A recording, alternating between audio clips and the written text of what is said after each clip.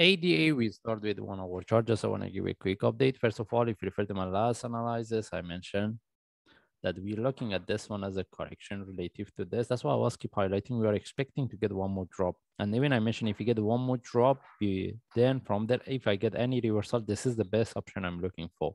Anyway, after the breakout of 2.3, we the price dropped to 2.08, but we mentioned we with the breakout of 2.08, we can expect even the price drop to 1.82. All right.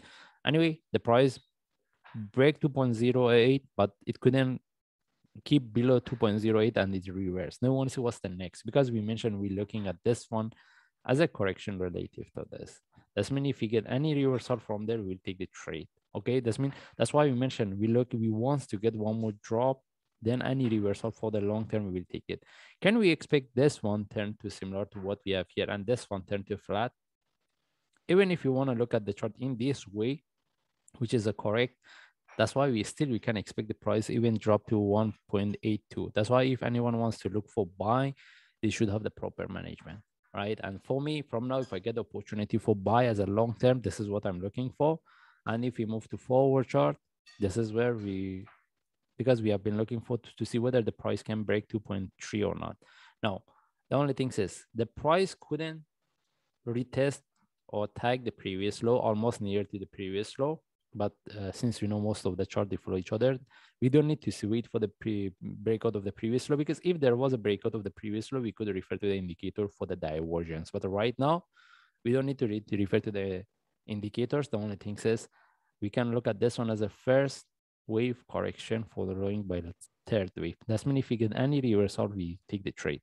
Now the next reversal whether this is a start of the, the up move or it can be similar to what we have here and this one turn a more, more complex correction we cannot confirm and technically since we don't see the divergence yet we can expect even this one then i mean we can look at this uh, chart in this way. This means we can look at this option because of the one two three four five before we get the reversal but as i mentioned since most of the chart they follow each other and mostly they follow the bitcoin it may this is the only three waves because based on the Bitcoin, we get the ABC.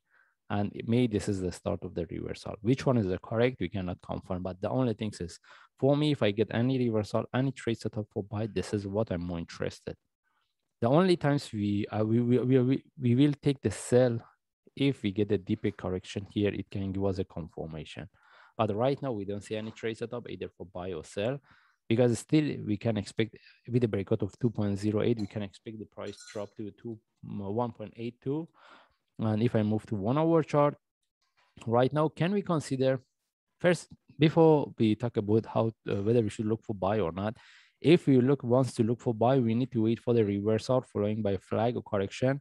In that case we prefer to put our entry above the top. We look for the next move this is mostly how we look for the reversal but if we want to look for sell, we need to get the deeper correction before we take the sell. That means the only times you can look for sell, this one turn to a deeper correction, it gives us a confirmation for the next drop. This is where we take the sell.